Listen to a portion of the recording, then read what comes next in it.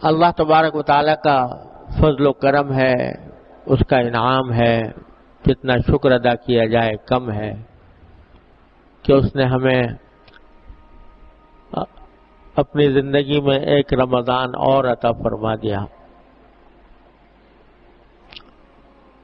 ये वो नेमत है कि उस नेमत का सही अंदाज़ा हम लोग इस दुनिया के अंदर शायद लगा भी नहीं सकते। कि इस रमज़ान का एक एक लम्हा कितना कीमती है, कितना फ़ायदेमंद है, कितना नाफे है। इसका सही पता तो इंशाल्लाह उस वक्त चलेगा, जब अल्लाह ताला फरमाते हैं कि असौमुली व आना अज्जी भी रोजा मेरे ही लिए है और मैं ही इसकी जजा दूँगा। यानी क्या दूँगा? ये नहीं बताया।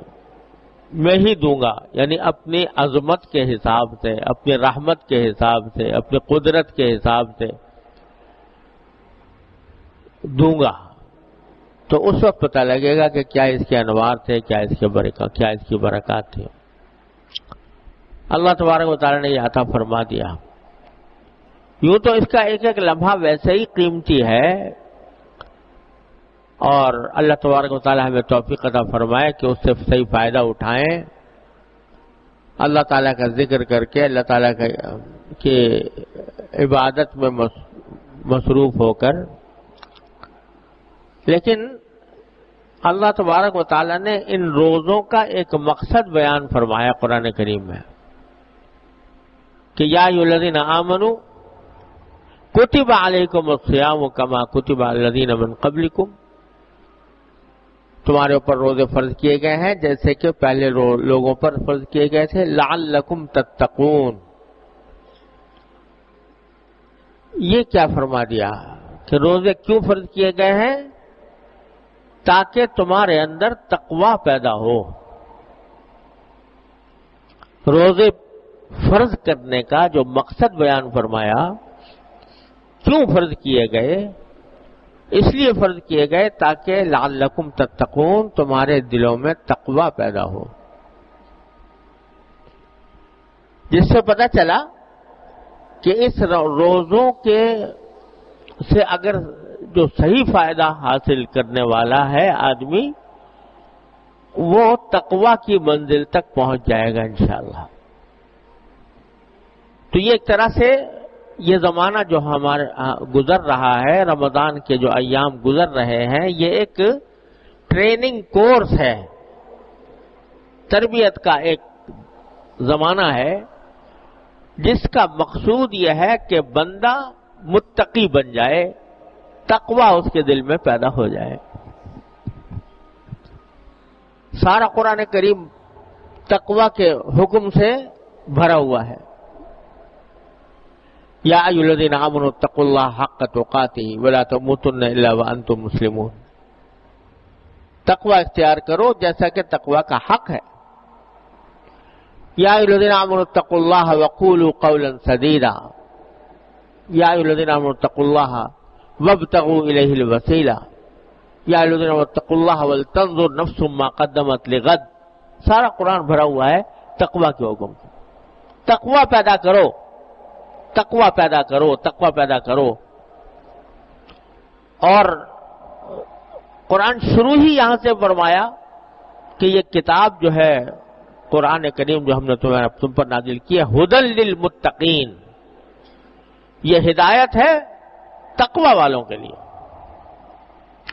तो तकवा एक ऐसी चीज़ है कि जिसके हसूल के लिए सारे, सारा कुरान भरा हुआ है। बार बार उसकी ताकीद फरमाई गई है और इसके फजाइल भी बयान फरमाए गए हैं। उसको हासिल करने के लिए यह रमज़ान का जमाना और रोजों का अमल इस तकवा को हासिल करने के लिए एक बेहतरीन वसीला है, बेहतरीन ज़रिया है, बेहतरीन रास्ता है, जिसके ज़रिए आदमी तकवा हासिल कर सकता है। यूँ तो अल्लाह तबारक वाले ही जानते हैं कि किस इबादत में क्या क्या असरार हैं क्या क्या अनवार हैं क्या क्या हमतें हैं। लेकिन एक सामने की बात यह है कि तकवा का, तकवा की तरबियत इस तरह रोज़े से होती है कि रोज़े में इंसान अपनी ख्वाहिश के पीछे नहीं चलता।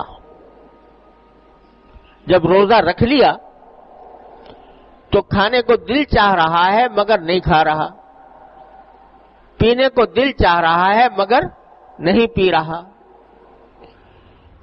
अपनी जिनसी ख्वाहिशात को पूरा करने को दिल चाह रहा है, लेकिन नहीं कर रहा। तो ख्वाहिशात जो इंसान को पटड़ी से उतारती हैं अल्लाह ताला तक पहुँचने के रास्ते में रुकावट बनती हैं। उन ख्वाहिशात को मारकर कुचल कर और आदमी जो है रोजा रखता है। और इतना तकवा का देखो, ये कितना बड़ा, यानी एक मुजाहरा है कि कितना ही गए से गया मुसलमान, गया गुजरा, मुसलमान। फ़र्ज़ करो, नमाज़ भी नहीं पढ़ता। मगर जब रोजा रख लिया, रोजा रख लिया तो गर्मी शदीद पड़ रही है, और लू चल रही है, हलक में कांटे पड़े हुए हैं, कमरे में आदमी मौजूद है, कोई देखने वाला नहीं, फ्रिज में ठंडा पानी रखा हुआ है, लेकिन गए से गया गया गुजरा मुसलमान भी ये गवारा नहीं करेगा कि मैं ये पानी पी लू। क्यों? इसलिए कि मैंने रोजा रखा। हालाँकि कोई देख नहीं रहा। अगर पी ले तो कोई देखने वाला नहीं, कोई मलामत करने वाला नहीं, कोई रोकने वाला नहीं, लेकिन कोई मुसलमान गवारा नहीं करेगा। यहाँ तक कि अगर कोई शख्स उसको पेशकश करे कि भाई, तुझे एक लाख रुपए दूँगा और ये पानी पी ले। तो भी वो ठुकरा देगा। ये क्या चीज़ है जो उसको पानी पीने से रोक रही है और इस पेशकश को ठुकराने पर आमादा कर रही है? ये क्या चीज़ है? अगर देखो तो यही तकवा, इसी का नाम तकवा है। यही तकवा है। क्या?